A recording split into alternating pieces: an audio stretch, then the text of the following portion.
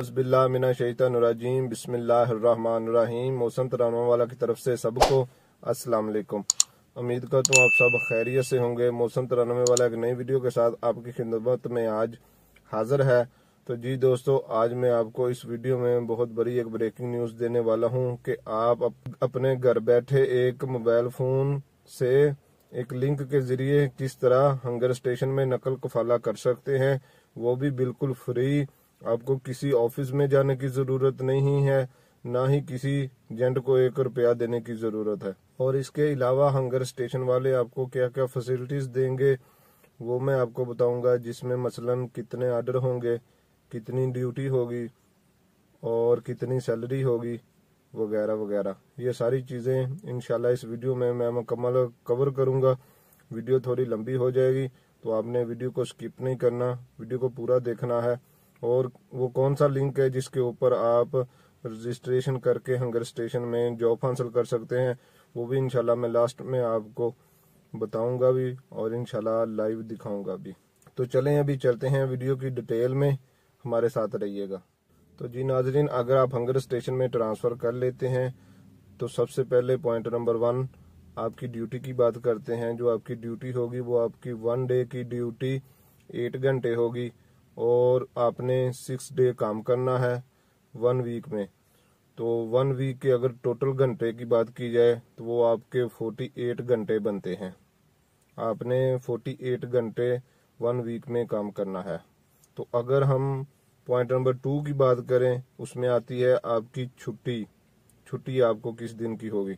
आपको one week में एक दिन छुट्टी होगी।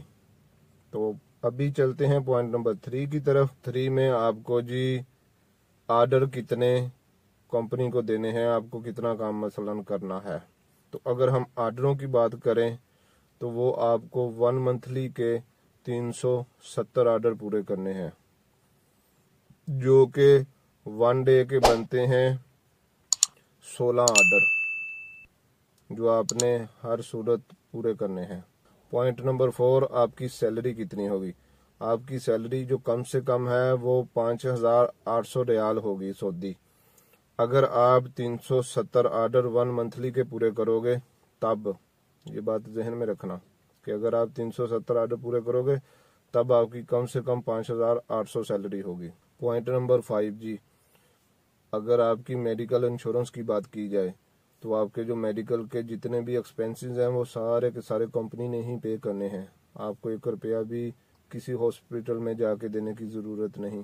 वो कंपनी आपको इंश्योरेंस देगी, वो जिस हॉस्पिटल में कहेगी, आपने वहाँ से जाके मेडिसिन अपनी खरीद लेनी है। पॉइंट नंबर सिक्स जी, अगर आप अपनी कंट्री में छुट्टी जाना चाहते हैं तो अगर आप दो ईयर के बाद छुट्टी जाओगे तो कंपनी आपको आने जाने की टिकट पे करेगी। अगर आप वन ईयर के बाद छुट्टी जाते हो तो आपने अपनी टिकट के ऊपर जाना है। तो जब आप अपनी कंट्री में छुट्टी जाना चाहते हो तो अगर उन छुट्टियों की बात की जाए तो आपको वन ईयर के बाद आज जो छुट्टी मिलेगी, वो ट्वेंटी वन डेज़ की मिलेगी। और इसी तरह अगर हम इनको टोटल प्लस करें, अगर आप दो ईयर की छुट्टी जाते हो तो वो आपको फोर्टी एट डेज़ की छुट्टी मिलेगी। पॉइंट नंबर सेवन जब आप नकल कफाला करते हो हंगर स्टेशन के साथ, उस वक्त सऊदी गवर्नमेंट के जो भी एक्सपेंसेस हैं, वो सारे के सारे हंगर स्टेशन वाली कंपनी ही पे करेगी। जिसमें मसलन नकल कफाले की सबसे पहले तो जो फ़ीस है, वो हंगर स्टेशन वाले पे करेंगे। आपको एक रुपया भी देने की ज़रूरत नहीं, आपका बिल्कुल फ्री नकल कफाला होगा हंगर स्टेशन के साथ। Point number eight G hunger station वालों को वो राइडर चाहिए जिसके पास कार हो। गाड़ी आपकी हो और जितना भी फ्यूल का खर्चा वगैरह है, वो भी आपका ही होगा। अगर आपके पास अपनी गुंजाइश है, आप अपनी गाड़ी ले सकते हैं तो अच्छी बात है आप अपनी गाड़ी ले लें। तो अगर आप रेंट पे हायर करना चाहते हैं तो आप रेंट पे गाड़ी भी ले के हंगर स्टेशन के साथ ट्रांसफ़र कर सकते हैं। हंगर का बस काम होना चाहिए, उनको गाड़ी से मतलब नहीं। आपके पास बस गाड़ी होनी चाहिए, उनको ये नहीं, गाड़ी अपनी है या गाड़ी रेंट की है। वो रेंट आपने ही पे करना है, अगर रेंट की है, और जो फ्यूल का खर्चा है, वो भी सारे का सारा आपका ही है। बहुत से भाइयों का सवाल है कि यार गाड़ी अगर हम रेंट पे लें तो उसके क्या एक्सपेंसेस हैं, कितने में मिलती हैं? तो अगर भाई आप रेंट पे गाड़ी लेते हो, एक नॉर्मल गाड़ी की कंडीशन के बारे में मैं बताने लगा हूँ, वो तकरीबन एक हज़ार आठ सौ की है। नॉर्मल कंडीशन की जो एक गाड़ी है। तो आप पाँच हज़ार आठ सौ में सबसे पहले तो ये माइनस करें ना, अगर आप रेंट पे गाड़ी लेते हैं, एक हज़ार आठ सौ। तो उसके बाद जो फ्यूल का आपका मंथली का एक नॉर्मल खर्चा है, वो तकरीबन एक हज़ार दो सौ रियाल है। तो बारह सौ आप ये इसमें से माइनस करें। तो वो जो टोटल इसके बाद आपके पास बनते हैं, वो तकरीबन दो हज़ार आठ सौ बचेंगे। इसमें से फिर आपने अपने दूसरे एक्सपेंसेस भी देखने हैं। खाना वगैरह खाना है, रहाइश का है तो और भी दूसरे तीसरे खर्चे हैं। वो भी आप देख लें। ये सारी चीज़ें इसमें से आप माइनस करके फिर आप हंगर स्टेशन के साथ नाजल करें। ऐसे ही ना कर दें कि यार सब कुछ फ्री में हो रहा है, फटाफट हंगर स्टेशन के साथ ट्रांसफ़र कर लें। अब ये बात जहन में रखें। कि उसमें गाड़ी भी आपकी है और फ्यूल का खर्चा भी आपने उसी सैलरी से निकालना है और खाने के पैसे भी उसी से निकालने हैं। अभी रहाइश का इन्होंने कोई ज़िक्र नहीं किया। वो रहाइश भी आपको अपनी ही लेने पड़ेगी। तो रहाइश का जो एक्सपेंसेस हैं, वो भी आप उसमें से निकालें। तो बाद में फिर देखें टोटल करें आपको क्या बचता है, कितनी सैलरी आपकी बनती है। तो चलें जी, अभी चलते हैं मोबाइल की स्क्रीन पे। तो वो मैं आपको दिखाता हूँ। लिंक जो हंगर स्टेशन वालों ने दिया कि किस तरह आप इसको सबमिट कर सकते हैं। आपने कौन कौन से अपने डॉक्यूमेंट हंगर स्टेशन वालों को सबमिट करने हैं।